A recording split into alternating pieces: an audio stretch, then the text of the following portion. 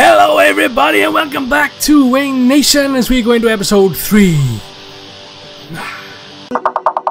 Shaken.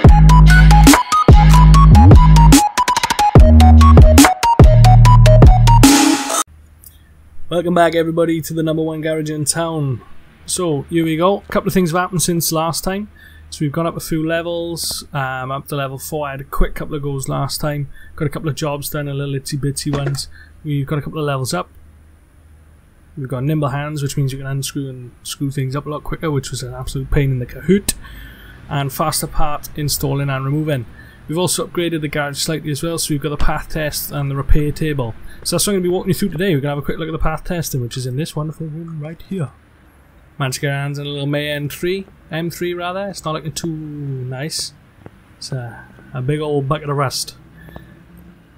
People that have played 2015, Car Mechanic Simulator 2015, will know that this room in that game was just a sort of room that was out in the middle of nowhere. You couldn't walk straight into it. It wasn't in the middle of nowhere, it was off the side. What the hell am I talking about? And you click the door, chose what car you wanted to go in there, it went in there and it automatically kicked you straight into the test. We do things a little bit differently around here now. So you've got to move the car in this, you right click in, you move in the car, and then you are picking test path. Car's gone. I've not gone with the car, but the car's gone. So what we should find, do the little area doing,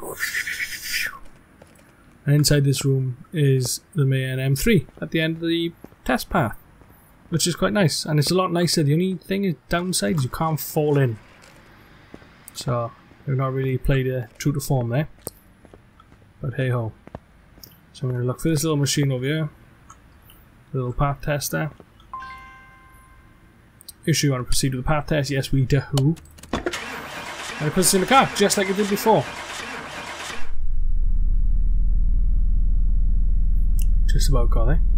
And you can see in the upper left part of the screen now, actually you can't let me move that across view. Let me shift me down there. Happy days. So you can see in the top left now we've got rear suspension, rear brakes, over the right from there, front brakes, front suspension.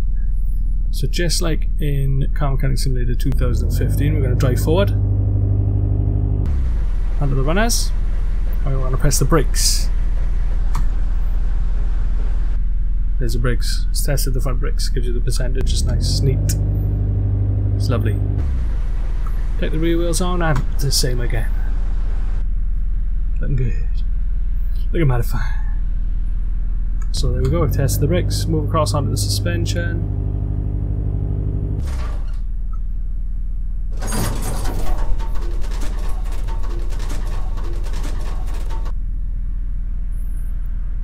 So that's the front tested. Now we move the back cross. I'm not going to keep doing that, it's going to be a bit of a bad head.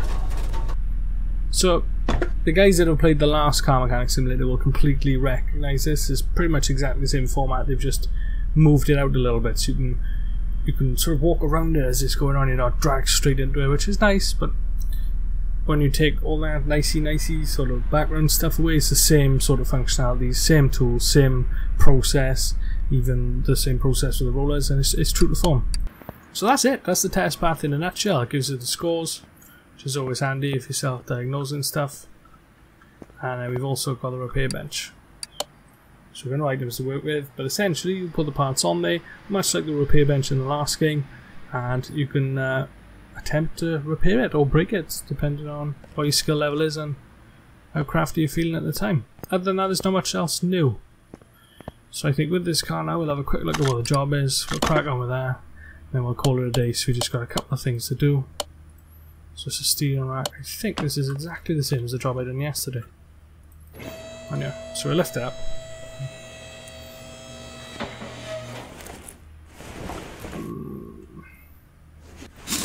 Off, you can see the speed difference as well. So we're banging them parts up. Taking the parts off, banging the screws out is it's gravy.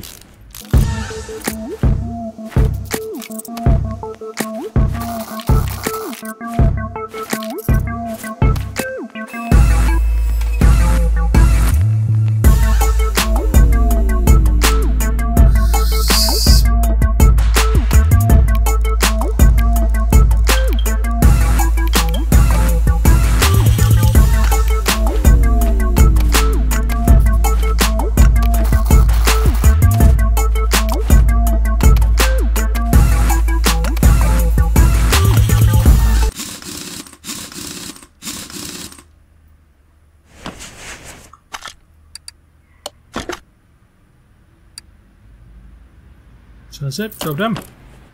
Kaboom, just like that. Now we've hit the auto-saving bit. So we're back, don't know what happened there, the game glitched out. Hey ho. So we're gonna go to the repair bench. Mm, that's not right, that's level. Where did I get them tires from? This happened yesterday as well. I seem to be lifting things from some from somewhere. Who knows? Actually bloody knows anymore? Yeah, so that's it. The repair bench and the path test ticked off and ready to rock and roll. Hope you've enjoyed the video. It's just a quick one. I want to keep it brief because I don't want to be dragging them on because I know they're difficult to watch then. Just keep it short, snappy, and everything that you guys want to see and nothing else. Au revoir. See you guys in the next video.